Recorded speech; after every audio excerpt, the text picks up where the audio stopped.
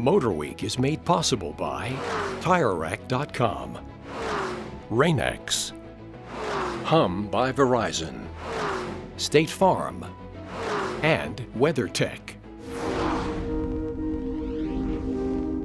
As the epicenter of our nation's government and a top tourist destination, Washington, D.C. has a lot of people moving around town. And just as more and more of them are choosing efficient, zero emission personal transport, city officials saw an opportunity to improve their transit fleet as well.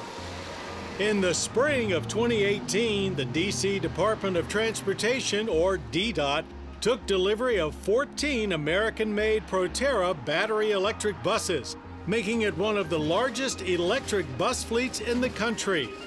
This purchase raises the bar again in DC's lead by example practice when it comes to mass transit.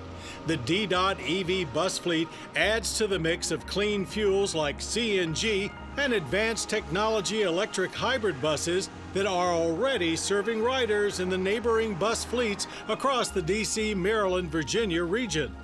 The DC circulator buses transport more than 4.8 million passengers each year and travel six routes around DC and into Virginia, stopping at popular monuments, museums, attractions, and transportation hubs along the way. Good morning. I'm good. Good morning. All right, I like those glasses. Welcome to the circulator. You must ring the bell when you hear your stop. For driver Natressa Jackson, switching from diesel to electric was seamless. It's a very smooth ride. It's a very quiet ride. In addition to being quieter, these electric buses provide riders with the benefits of free public Wi Fi and USB charging for electronic devices, as well as informational displays for commuters and more powerful air conditioning. The energy and environmental impacts of the new electric bus fleet are impressive, displacing nearly 89,000 gallons of diesel per year and reducing CO2 emissions by a quarter million pounds. The Proterra buses are powered by four large battery packs under the floor. After charging overnight, the buses can operate for a full 10 hour shift.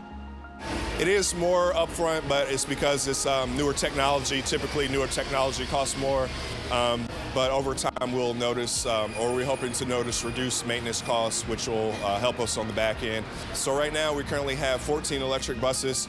Over the coming fiscal year, we hope to um, purchase an additional 18, and long term, we hope to have the entire electric fleet.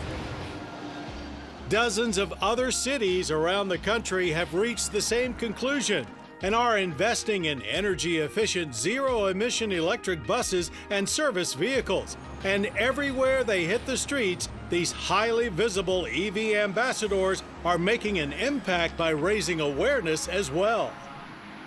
We're having an EV revolution in the Washington, D.C. area. A lot of people are purchasing electric vehicles, and this is a first opportunity for others to see that the technology really works.